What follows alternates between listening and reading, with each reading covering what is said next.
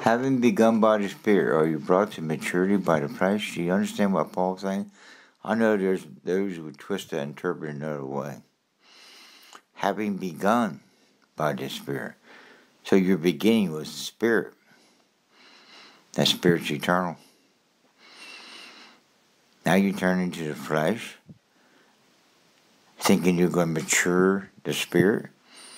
It's complete. It's to be worked out. And let the flesh go. And his human efforts, the flesh. I keep using that term, the flesh, all the time. What's it mean? Well, it breaks down to your particular race, your culture, your second religious creeds, your opinion of gender, male, female. Of course, I'll throw in Galatians 6 talking about the byproducts of the flesh. For example, byproducts of the flesh. You might think in yourself, well, I could never commit adultery. But you, you knew the text. The Pharisees thought that. They could never commit adultery. They were keeping the law. Thou shalt not commit adultery. Yet Jesus says, You have said, but I say unto you, if you looked upon a woman with lusting heart, you have already committed it. Then he goes the next step saying, I'll never commit murder. He said, if you hated your brother, you murdered him. What's he saying in that moment? The key word is potential. Know that your potential to commit murder. If you haven't thought and you deny that thought, some point in life you may very well commit murder, real murder. Or you may cheat on your husband or your wife, thinking you could never do that.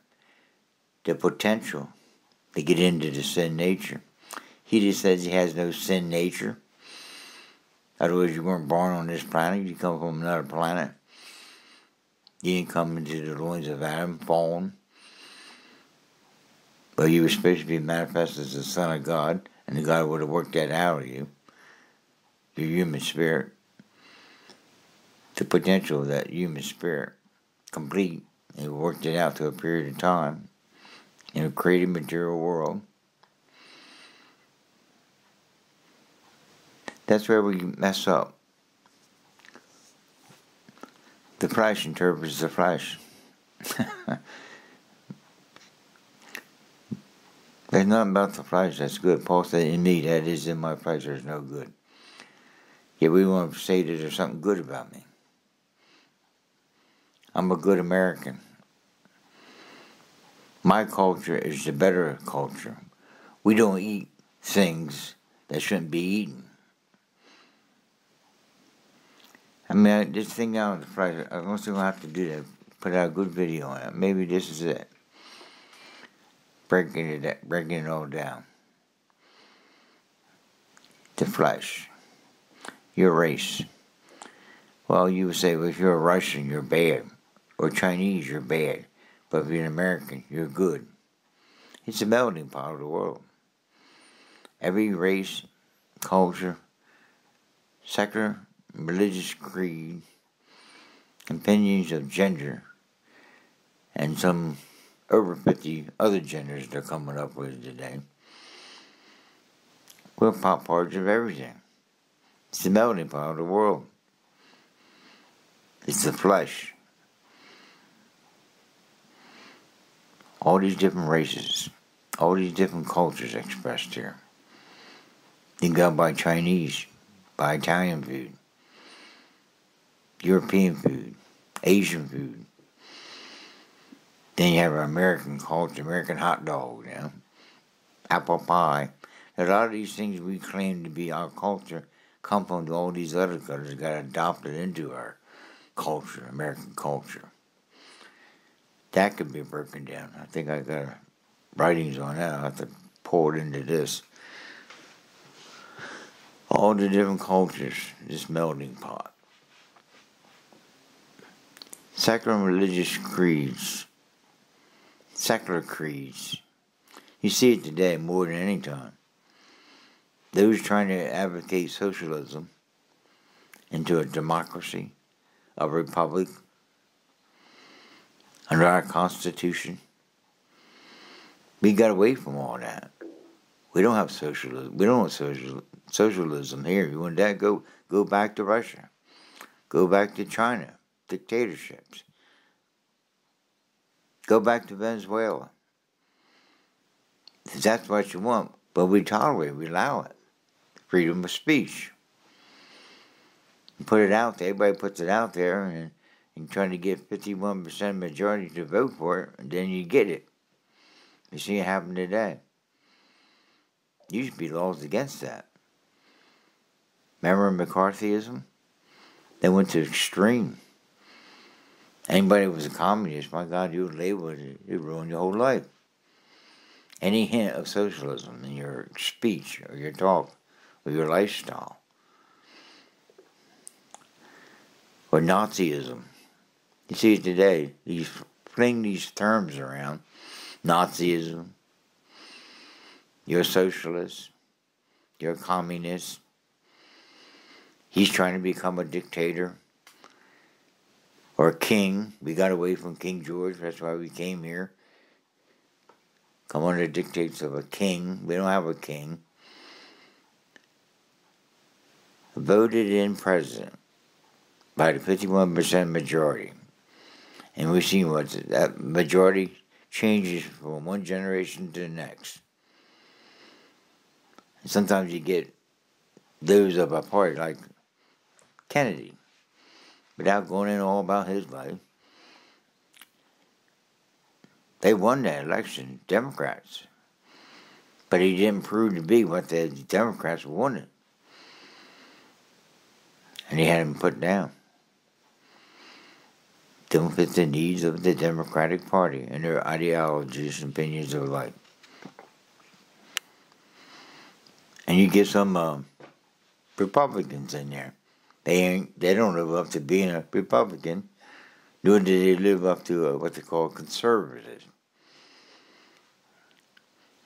Religious conservatism today has hardly any meaning at all. What's a conservative? What's a liberal? That's right over now room. Find out both are bad. There's not true conservative, nor are they true uh, liberal. They come into what's called the new millennial generation. Progressives. And distortion of this word progressive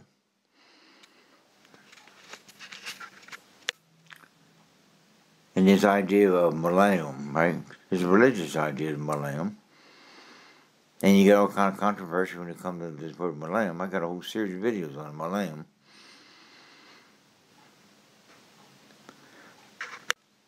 They're what they call replacement theology, saying that the church replaced the millennial kingdom offered to the Jewish people because they rejected their Messiah, their king.